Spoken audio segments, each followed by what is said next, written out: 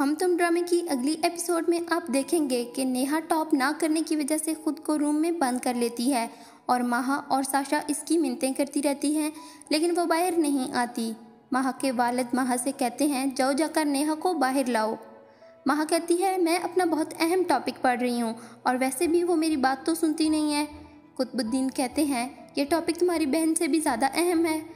तो माहा कहती है, ये सब वो टोपी ड्रामा कर रही है। दादाजी नरगिस की तस्वीर को देख देख कर मचलते रहते हैं और घर वालों को कानों कान खबर नहीं होने देते।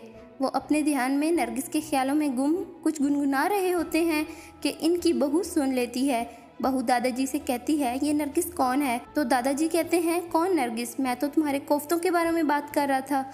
दादाजी कहते हैं, बहू, तुमने क्या कमाल की चीज़ बनाई है। पूरा ख़ानदान तुम्हारे नरगिसी कोफ्ते खाएगा। नरगिसी कोफ्तों का नाम ही इतना हसीन है तो सोचो, जायके में कितने लजीज होंगे।